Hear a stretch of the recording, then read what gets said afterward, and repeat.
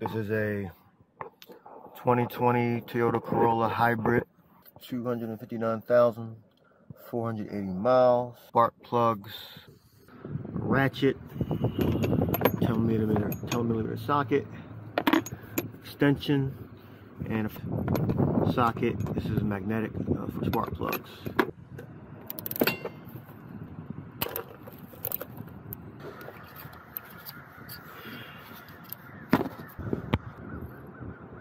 One lowering it, lowering it back down.